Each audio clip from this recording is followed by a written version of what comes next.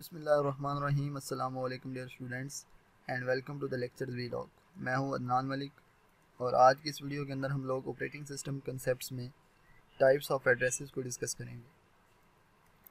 Operating system में हमारे पास दो तरह के एड्रेसेस यूज़ होते हैं।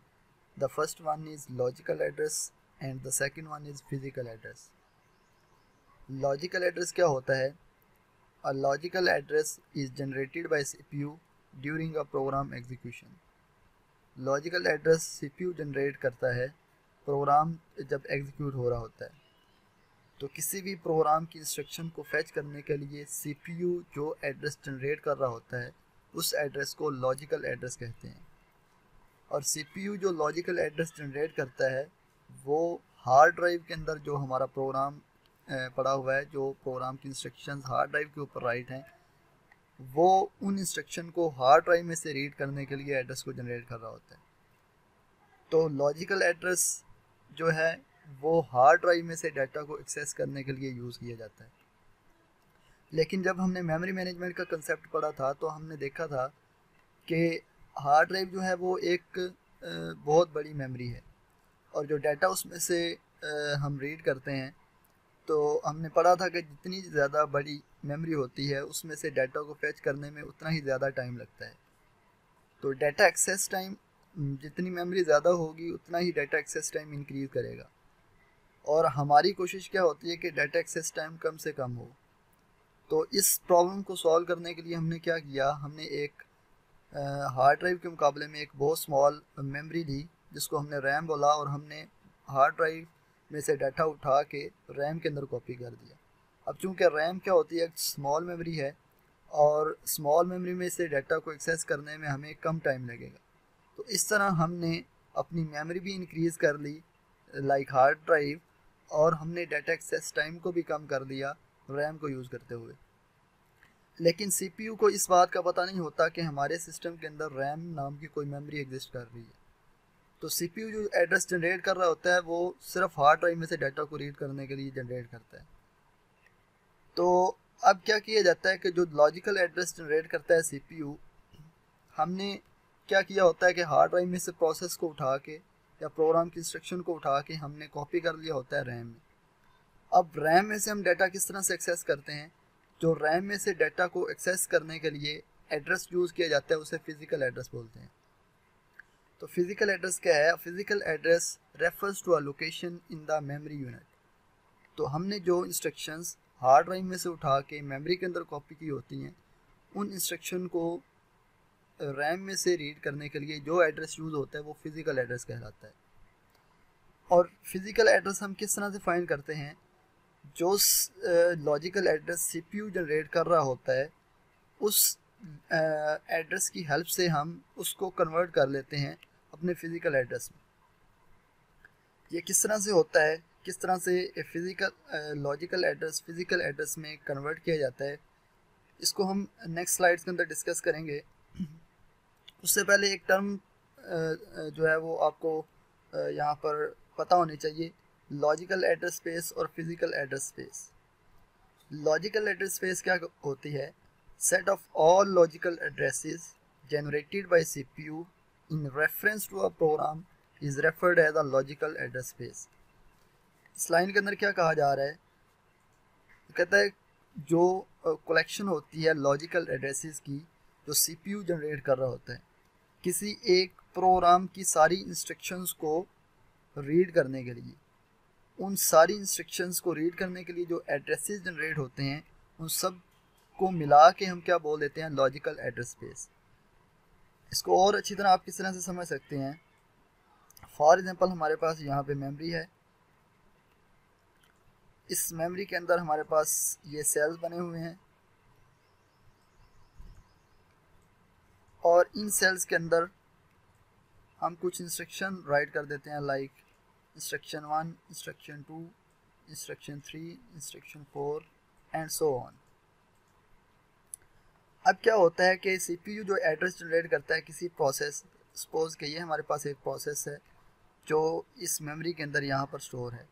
और इसके अंदर one two three four five six seven seven हमारे पास इंस्ट्रक्शंस हैं, जिनको रीड करने के लिए सीपीयू जो है वो एड्रेसेस जनरेट कर रहा है। अब सीपीयू जो लॉजिकल एड्रेस जनरेट कर रहा होता है, वो हर एक इंस्ट्रक्शन को रीड करने के लिए सेपरेट होगा। अब जब हम सारे जो इस प्रोग्राम को रीड करने के लिए जो सारे एड्रेसेस जनरेट हो रहे हैं, उनको जब हम कंबाइन करके बोलेंगे तो हम क्या कहेंगे कि ये हमारे पास क्या है? लॉजिकल एड्रेस स्पेस है। लॉजिकल एड्रेस स्पेस क्या होती है? Set of all logical addresses generated by CPU in reference to a program अब ये बात आपने याद रखनी है कि एक प्रोग्राम को जो रेफ़र कर रहे होते हैं एड्रेसेस तो इसके बाद अगर कोई और प्रोग्राम हमारे पास यहाँ पर स्टोर होगा तो उसके जो सारे एड्रेसेस होंगे, उन सबको उन सब की कलेक्शन को हम लॉजिकल एड्रेस स्पेस उस प्रोसेस की बोलेंगे। तो ये हमारे पास अगर पी नॉट प्रोसेस है तो इसकी लॉजिकल एड्रेस स्पेस क्या है? ये सारे एड्रेसेस जो सीपीयू जनरेट कर रहा कर रहा होता है, इन इन इंस्ट्रक्शन को रीड करने के लिए। नेक्स्ट हमारे पास क्या है? Physical address space physical address space क्या होती है? Set of all physical addresses mapped into the corresponding logical addresses is referred as a physical address space. तो अगर हमने हार्ड ड्राइव में से कोई प्रोसेस उठा के रैम के अंदर कॉपी किया हो सपोज़ यहाँ पर ये यह हमारे पास हार्ड ड्राइव है, और यहाँ पर हमने एक मेमोरी लगाई हुई है रैम अब इस हार्ड ड्राइव में से अगर हम इंस्ट्रक्शन उठा के रैम के अंदर कॉपी करते हैं एक प्रोसेस की। तो यहाँ पर जो मैप्ड हुई हैं सारी इंस्ट्रक्शंस उन इंस्ट्रक्शंस को रीड करने के लिए फ़िज़िकल एड्रेस जो जनरेट होगा, उन सब की कलेक्शन को हम क्या बोलेंगे? Physical address space of the that process तो लॉजिकल एड्रेस स्पेस और physical address space I hope आपको क्लियर हो गई होगी। अब नेक्स्ट स्लाइड के अंदर हम एड्रेसेस जो ट्रांसलेशन होती है वो किस तरह से लॉजिकल एड्रेस फ़िज़िकल एड्रेस में ट्रांसलेट होता है उसको डिस्कस करते हैं उसकी कुछ टर्म को डिस्कस करते हैं। यहाँ पर एक, आपको एक फिगर नज़र आ रही है जिसमें हमारे पास ये मेमोरी शो की गई है और इस मेमोरी के अंदर कुछ पार्ट जो है वो ऑपरेटिंग सिस्टम ने कंज्यूम किया हुआ है और यहाँ पर कुछ प्रोसेस स्टोर हैं। तो ये प्रोसेस एक ये एक प्रोसेस है, एक ये प्रोसेस है, एक ये प्रोसेस है। अब जैसा कि हमें पता है कि जो हमारा सीपीयू होता है, वो कलेक्शन ऑफ़ रजिस्टर्स है। हमारे सीपीयू के अंदर डिफरेंट टाइप्स के रजिस्टर जो हैं वो यूज़ होते हैं हमारे डाटा को डाटा के ऊपर डिफरेंट ऑपरेशन परफॉर्म करने के लिए।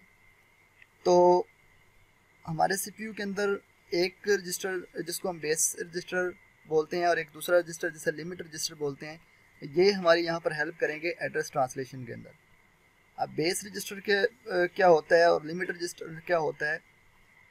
तो बेस रजिस्टर एक ऐसा रजिस्टर है जिसके अंदर हम हमारे प्रोसेस की जो हमने मैप किया हुआ है हार्ड ड्राइव में से उठा के रैम के अंदर, और जब वो कॉपी होता है तो उसकी पहली इंस्ट्रक्शन फॉर एग्ज़ाम्पल हमारे पास ये रैम है यहाँ पे, और इसके अंदर हमने क्या किया हुआ है? एक प्रोसेस यहाँ पर ला के स्टोर किया।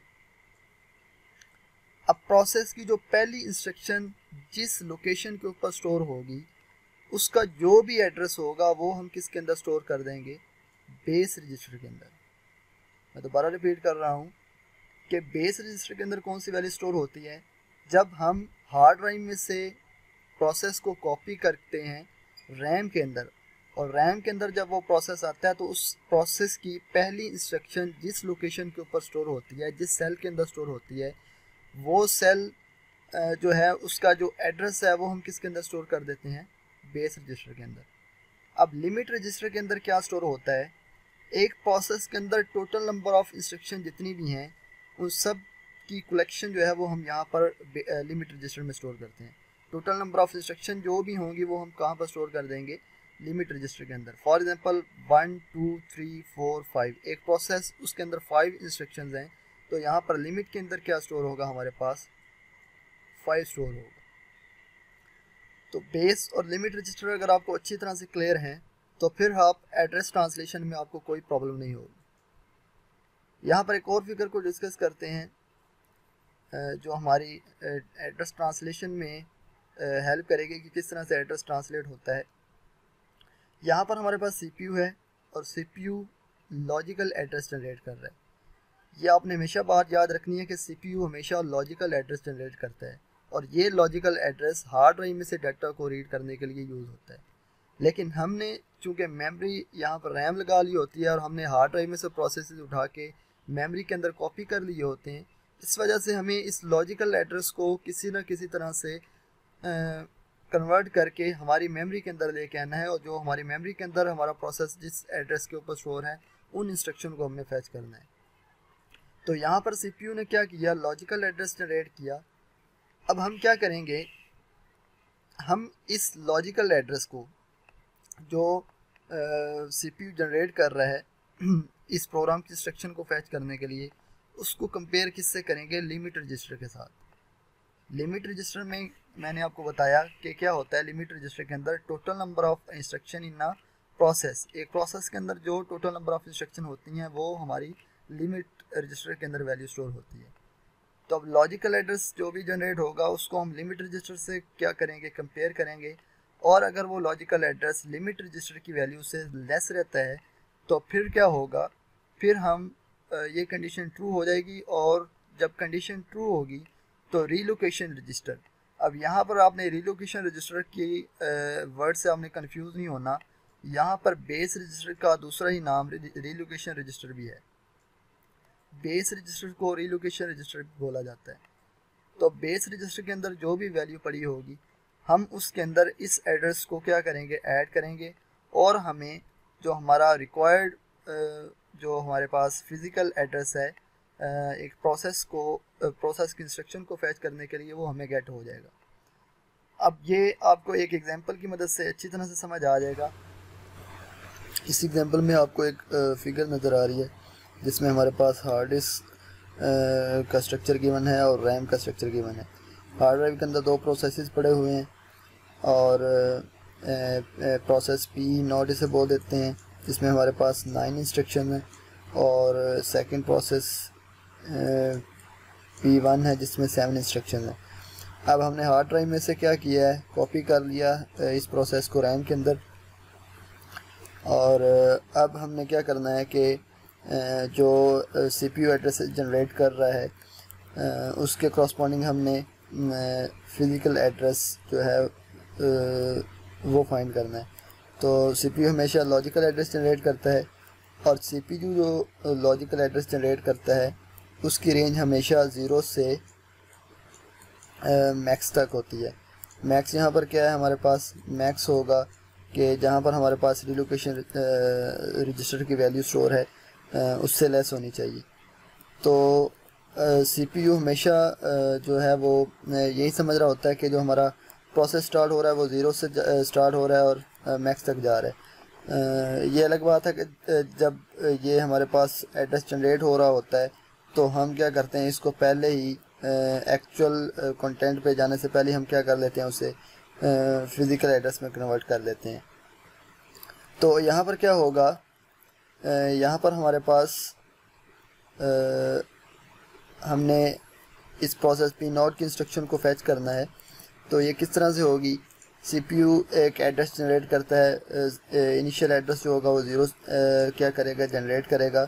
अब लिमिट रजिस्टर के अंदर हमारी क्या वैल्यू पड़ी होगी? लिमिट रजिस्टर में हम मैंने आपको बताया कि टोटल नंबर ऑफ़ इंस्ट्रक्शन जो प्रोसेस की होती हैं, वो स्टोर होंगी। तो यहाँ पर प्रोसेस पी नॉट की कितनी इंस्ट्रक्शन है? नाइन तो लिमिट की वैल्यू क्या हो जाएगी? नाइन और रिलोकेशन रजिस्टर में क्या स्टोर होता है? रिलोकेशन रजिस्टर में बेस वैल्यू स्टोर होती है और बेस वैल्यू यहाँ पर क्या है? बेस वैल्यू, वो वैल्यू होती है जो हमारा रैम के अंदर जो प्रोसेस स्टोर है, उसकी पहली इंस्ट्रक्शन किस एड्रेस के ऊपर स्टोर है। तो यहाँ पर हमारे पास पहली instruction one double zero one के ऊपर स्टोर है तो हमारी रिलोकेशन रजिस्टर की वैल्यू क्या हो जाएगी? One double zero one. अब, पहला एड्रेस सीपीयू ने जनरेट किया प्रोसेस पी नोट की इंस्ट्रक्शन को फैच करने के लिए पहला एड्रेस जनरेट हुआ ज़ीरो अब ये ज़ीरो कंपेयर होगा लिमिट की वैल्यू से। तो zero is less than nine yes condition true होगी। और कंडीशन ट्रू होती है तो रिलोकेशन वैल्यू के अंदर ये वाली वैल्यू ऐड करके हम क्रॉसपॉन्डिंग फ़िज़िकल एड्रेस फाइंड कर लेते हैं। तो यहाँ से ज़ीरो आएगा और ज़ीरो जब वन डबल ज़ीरो वन में ऐड होगा तो हमें नई वैल्यू भी क्या मिलेगी? वन डबल ज़ीरो वन क्योंकि वन डबल ज़ीरो वन में क्या ऐड हो रहा है? ज़ीरो तो हमारी पहली इंस्ट्रक्शन उसे पता चल गया कि हमारी पहली इंस्ट्रक्शन रैम के अंदर इस एड्रेस के ऊपर पड़ी हुई है वन डबल ज़ीरो वन के ऊपर।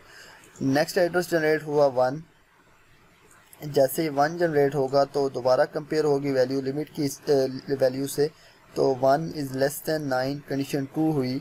और one one double zero one के अंदर जब ऐड होगा तो हमारी नई वैल्यू जो मिलेगी वो क्या मिलेगी? वन डबल ज़ीरो टू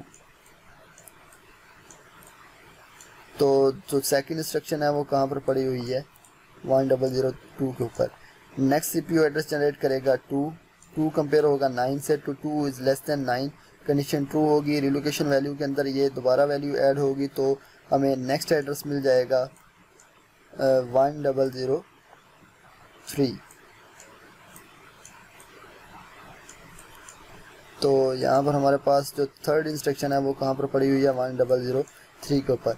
इसी तरह से एड्रेस जनरेट होते रहेंगे, जब हम एट वैल्यू के ऊपर पहुँचेंगे तो eight is less than nine yes condition क्या हुई? ट्रू हुई। तो ये दोबारा जब ऐड होगा तो one double zero nine one double zero one में जब हमारे पास एट ऐड होगा तो हमें क्या वैल्यू मिलेगी? One double zero nine one double zero nine अगर आप देखें तो हमारे पास जो वैल्यू है वो क्या है? वन डबल ज़ीरो नाइन यहाँ पर लास्ट इंस्ट्रक्शन यहाँ पर पड़ी हुई है। अब जैसे ही क्या होगा एड्रेस नेक्स्ट नाइन जनरेट होगा। तो अब ये देखें हमारे प्रोसेस की इंस्ट्रक्शन जो है वो ख़त्म हो चुकी थी जब हमारे पास एड्रेस नंबर एट जनरेट हुआ था। तो जैसे ही नाइन कंपेयर होगा लिमिट की वैल्यू से तो nine is less than nine condition क्या हुई? फॉल्स हुई। तो जैसे कंडीशन फॉल्स होगी तो अब ये आगे नहीं जाएगा। ये यहाँ पर क्या हो जाएगा? ट्रैप हो जाएगा और यहाँ पर एड्रेस एरर शो हो जाएगा। जब नाइन एड्रेस जनरेट हुआ तो उसका मतलब है कि ये एक इलीगल एड्रेस था। नेक्स्ट अगर प्रोसेस पी वन की बात की जाए तो मैंने जैसे आपको पहले कहा कि अब जैसे ही इसकी वैल्यूज़ लोड होंगी तो सीपीयू दोबारा से रीसेट होगी सीपीयू की वैल्यू वैल्यू तो ये दोबारा से ज़ीरो से स्टार्ट कर देगा एड्रेस जनरेट करना। तो दोबारा से जब एड्रेस जनरेट ज़ीरो होगा तो अब लिमिट रजिस्टर की वैल्यू क्या हो जाएगी? अब लिमिट की वैल्यू होगी टोटल नंबर ऑफ़ इंस्ट्रक्शन जो इस प्रोसेस की हैं तो वो कितनी है? सेवन तो अब लिमिट की वैल्यू क्या हो जाएगी? लिमिट की वैल्यू होगी अब सेवन यहाँ से ये हमारे पास वैल्यूज़ रिमूव हो जाएँगी। इनको रिमूव कर देते हैं। और यहाँ पर हमारे पास रीलोकेशन रजिस्टर की वैल्यू क्या होगी? रीलोकेशन की जो वैल्यू होगी वो, यहाँ से हम देख लेते हैं कि हमारा प्रोसेस जो है वो कहाँ से स्टार्ट हो रहा है? तो रिलोकेशन रजिस्टर में क्या आ, हमारे पास स्टोर होगा? वन ज़ीरो वन ज़ीरो क्योंकि जो हमारे पास प्रोसेस पी वन है उसकी instruction number one address number one zero one zero के ऊपर स्टोर है।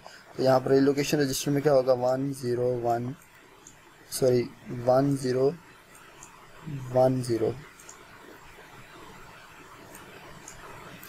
तो यहाँ पर पहला एड्रेस जनरेट होगा ज़ीरो ज़ीरो कंपेयर होगा सेवन से तो zero is less than seven yes condition true होगी। तो जब हमारे पास वन ज़ीरो वन ज़ीरो में ज़ीरो ऐड होगा तो हमें जो एड्रेस फ़िज़िकल एड्रेस मिलेगा, वो क्या मिलेगा? वन ज़ीरो वन ज़ीरो तो पहला एड्रेस ये मिलेगा नेक्स्ट एड्रेस जनरेट होगा वन तो one is less than seven तो नेक्स्ट एड्रेस क्या मिलेगा? हमें वन जब इसमें ऐड होगा मतलब जैसे सीपीयू ने जनरेट किया वन तो वन कंपेयर हुआ लिमिट की वैल्यू से तो ये कंडीशन ट्रू हुई तो ये दोबारा जाके इस वैल्यू के अंदर क्या हो जाएगा? स्टोर हो गया, होगा one zero one zero one zero में तो नई वैल्यू जो मिलेगी वो हमें क्या मिलेगी? One zero one zero next generate होगा टू तो टू इस वन ज़ीरो वन ज़ीरो में ऐड होगा तो नेक्स्ट वैल्यू हमें मिल जाएगी one zero two one zero one तो इसी तरह से जो लास्ट जब वैल्यू जनरेट होगी फॉर एग्जांपल हमारे पास सिक्स जनरेट हुआ तो सिक्स जब जनरेट होगा तो six is less than seven condition true होगी तो हमारे पास वन ज़ीरो वन ज़ीरो में सिक्स ऐड होगा तो नई वैल्यू जो मिलेगी हमें वन ज़ीरो वन सिक्स तो अगर आप यहाँ पर देखें तो last instruction one zero one six के ऊपर पड़ी हुई है। अब जैसे ही, देखें, इसके बाद हमारे पास कोई और इंस्ट्रक्शन नहीं है तो जैसे सीपीयू एड्रेस जनरेट करेगा नेक्स्ट सेवन क्योंकि सीपीयू हमेशा एड्रेस जनरेट करता रहता है। और जैसे ये एड्रेस जनरेट होगा तो सेवन कंपेयर होगा लिमिट की वैल्यू से तो seven is not less than seven तो कंडीशन क्या होगी फॉल्स हो गई तो यहाँ पर हमारे पास क्या हो जाएगा? एड्रेस एरर जनरेट होगा। तो आई होप आपको ये बात क्लियर हो गई होगी। कि address translation continuous memory allocation में किस तरह से होती है। Uh, आपने एक बात याद रखनी है कि हमारे पास जो लॉजिकल uh, एड्रेस होता है उससे वर्चुअल एड्रेस भी बोला जाता है। नेक्स्ट uh, uh, हम uh, कुछ एग्जांपल्स हैं इनको डिस्कस करते हैं। पेपर पॉइंट ऑफ़ व्यू से भी बहुत इंपॉर्टेंट है इस तरह के क्वेश्चन अक्सर आ जाते हैं पेपर के अंदर। तो यहाँ पर हमारे पास फोर प्रोसेस गिवन है। तो और यहाँ पर हर प्रोसेस की लिमिट रजिस्टर की वैल्यू भी गिवन है और इसकी रिलोकेशन रजिस्टर की वैल्यू भी गिवन है हमें। तो अब हमें क्या कहा जाता है कि for example P naught process के लिए सीपीयू ने एक एड्रेस जनरेट किया। For example three seven three ये एड्रेस अगर सीपीयू जनरेट करता है प्रोसेस पी नॉट के लिए तो क्या ये एड्रेस वैलिड है, इनवैलिड है? या अगर वैलिड है तो इसके लिए आप जो वैलिड फ़िज़िकल एड्रेस है, वो आपने क्या करना है, फाइंड करना है। तो ये किस तरह से फाइंड होगा? आपको कहा जाता है कि इस पी नॉट के क्रॉसपॉन्डिंग जब एड्रेस जनरेट ये हुआ तो इसके क्रॉसपॉन्डिंग आपने क्या करना है, फ़िज़िकल एड्रेस फाइंड करना है। ये सीपीयू ने सीपीयू ने जनरेट किया एड्रेस तो ये कौन सा एड्रेस कहलाएगा? ये कहलाएगा हमारे पास वर्चुअल एड्रेस या फिर लॉजिकल एड्रेस अब इस लॉजिकल एड्रेस को हमने किसमें कन्वर्ट करना है? फ़िज़िकल एड्रेस में. तो पी नॉट की वैल्यू क्या जनरेट हुई है? पी नॉट की पी नॉट के इंस्ट्रक्शन को फैच करने के लिए थ्री सेवन थ्री तो हम क्या करेंगे? इस वैल्यू को कंपेयर करेंगे लिमिट की वैल्यू से. तो थ्री सेवन थ्री लिमिट में क्या पड़ा हुआ है? हमारे पास फोर हंड्रेड अगर ये वैल्यू इससे लेस रहती है तो क्या होगा? ये एक वैलिड जो है वो लॉजिकल एड्रेस है पी नॉट के लिए। तो यहाँ पर three seven three is less than four hundred condition true हुई। जब कंडीशन ट्रू होती है तो फ़िज़िकल एड्रेस किस तरह से फाइंड होता है कि रिलोकेशन रजिस्टर के अंदर हम जनरेटेड एड्रेस क्या कर देते हैं? ऐड कर देते हैं। तो थ्री सेवन थ्री में जब ये थ्री सेवन थ्री जब एलेवन हंड्रेड में ऐड होगा तो हमारा, हमें क्रॉसपॉन्डिंग क्या मिल जाएगा? क्रॉसपॉन्डिंग हमें फ़िज़िकल तो हमें यहाँ से जो वैल्यू हासिल होगी, वो क्या होगी? वन फोर सेवन थ्री तो इस एड्रेस के क्रॉसपॉन्डिंग जो हमारा फ़िज़िकल एड्रेस आया है, वो क्या आया है? One four seven three next हमारे पास प्रोसेस पी वन के लिए अगर एक एड्रेस जनरेट हुआ लाइक फोर हंड्रेड सपोज़ के ये एड्रेस जनरेट हुआ था तो अब ये अगर हम कंपेयर करें इसको 400 को लिमिट की वैल्यू से तो 400 is not less than 375 is not less than 375 तो कंडीशन फॉल्स होगी तो ये एड्रेस क्या होगा? इनवैलिड एड्रेस होगा। इसके क्रॉसपॉन्डिंग हम कोई फ़िज़िकल एड्रेस फाइंड नहीं कर सकते। नेक्स्ट प्रोसेस पी टू के लिए हमारे पास एक एड्रेस जनरेट हुआ लाइक टू हंड्रेड तो पी टू की वैल्यू पी टू के लिए हमारे पास लिमिट की वैल्यू क्या है? सिक्स हंड्रेड तो two hundred is less than six hundred condition क्या हुई?